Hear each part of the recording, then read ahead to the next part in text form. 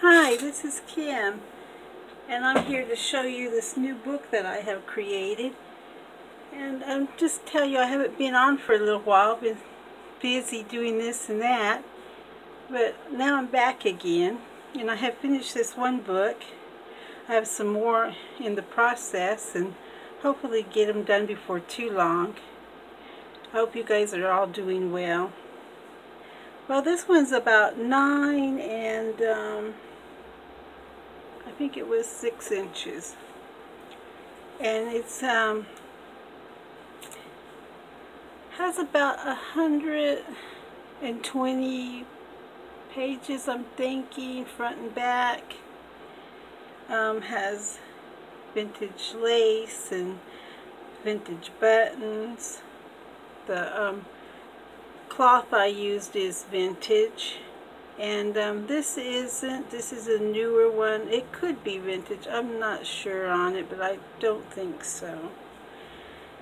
And the lace a lot of it and the crocheting work um, is um, hand done this is some lace that's been hand done and um, I went to an estate sale found this beautiful little throw that was quilted and it was so cute and charming but it was very worn and stained and tattered and and people someone must have loved it very much because there had been patches that had been done in it.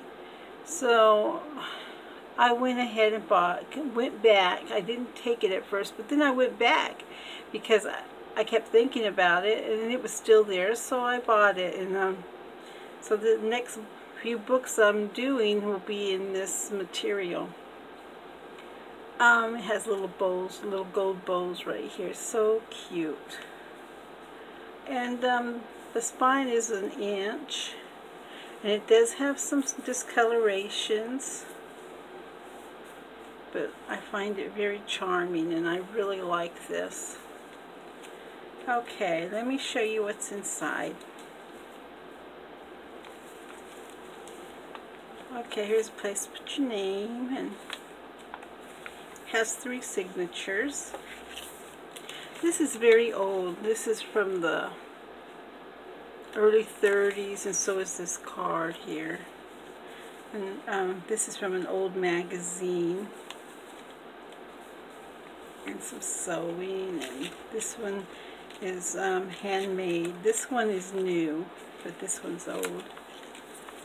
And here's a little heart to stick something in.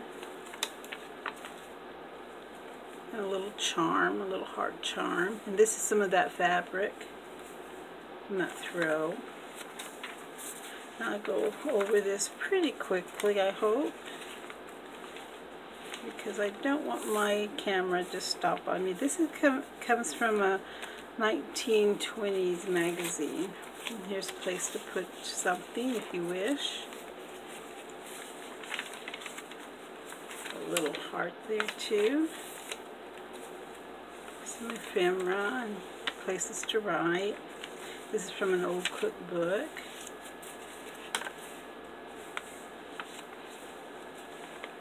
Here's a little pocket I made, a little envelope, but it doesn't have anything in it. Little card there, sewed on. Some little places to write on. Some more little papers to write on that's pretty. A little charm there. Our bead. All these um, pages here are old, from an old book. Most of the papers in here are probably coffee dyed. This is from that old magazine. This is old, vintage. Made these cute little button flowers. The buttons are vintage. There's a little pocket I made. Little envelope. And uh, made a little little paper with some um, some of that material sewed on. This is uh, from an old book too. Not super old, but it is old. And then just some little odds and end pieces here look at and write little things on. And This is from a Jello um, little book, booklet. It's from the 20s. And this is hand done. Like I said at the beginning, it's cute. This here is just some labels that I have stained that you can stick in if you wish. And some little cute birds. Some more little cards and whatnot to write on extra. Here's some of that material that I've sewed in. And here's an envelope that you can put something in. You can even stick something in here in that little text spot there. This is from Tim Holtz.